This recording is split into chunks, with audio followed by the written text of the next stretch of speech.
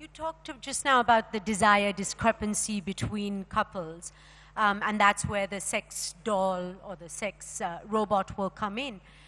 But in a conservative society like India, where even the use of a vibrator is quite shocking, and in fact, in a recent film, it was considered uh, an act of infidelity, you know, the fact that a, a married woman used a vibrator. Do you ever see this ever working in a country like India?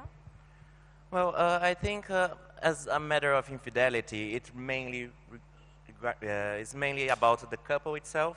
I think if you are honest uh, with your partner uh, about like using either a sex toy or like a sex robot, I don't think it could should count as infidelity. After all, you're being honest with with your partner and you can reach this decision together as a couple that actually might strengthen the relationship they have. Yes, I, I mean, I certainly can't speak to, uh, you know, uh, the, the, culture of India specifically, although I will say that while you may be a very conservative society, you're also one of the most technologically sophisticated societies in the world, and you're always on the cutting edge. So I would not be at all surprised to see India on the cutting edge of these technologies as well. Um, but I, I, agree that there will be, um, in various places around the world and everywhere, um, moral concerns that people have. And I think that um, many of those will be legitimate. I mean, right now, people already have problems in relationships around the use of pornography and so on. And we haven't resolved those questions within relationships. I think that there's going to be huge potential for problems. And I think there's going to be huge potential for benefits as well. And I just, I, I really think that the technology is not going to just take us in one direction or the other. It's going to be complicated. But I think, in general, I think it's going to be of benefit. I think we should not panic. How is um, bringing a sex robot into our lives? In fact, there is a very popular book at the moment called Machines Like Me, written by Ian McEwan, who's the Booker Prize winner, um, that it's actually written in fictional terms, but we're not so far from it where a robot is brought home. He's not a sex robot, but a robot is brought, brought home and it impacts the lives of those people. How do you foresee if a couple brings a humanoid into their lives? How can it impact their lives and how can we make it impact it in a positive way and avoid the pitfalls?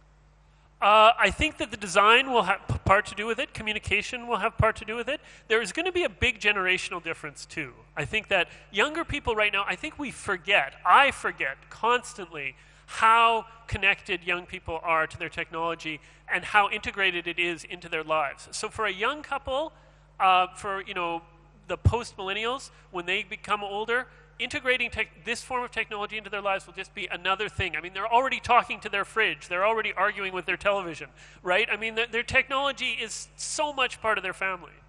Yeah, but this is the bit that scares me. I mean, just to go off on a note, I came home one day and my seven year old was talking to Alexa as if she was a real person and having a conversation and saying, How's your day?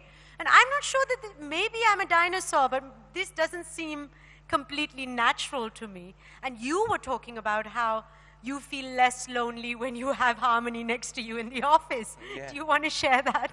Yeah, so like uh, it's quite funny when you are working the office and like uh, even when she's turned off, like we closing the office and say like a bye to Harmony, it's it's just like uh, it's her presence. It brings like a, uh, it connects us in some way. So we want we want we want to do good by, uh, with her, and then we ended up talking to her, and like even when you're alone and distracted, and then you share some opinion with Harmony, and she's like, say, yes, I agree, let's do that, or like, uh, she listens to you actually. Some sometimes it's very therapeutical and uh, and engaging, to be honest. She listens to you. Maybe that's why women need it more than men, right? because we want someone to listen to us.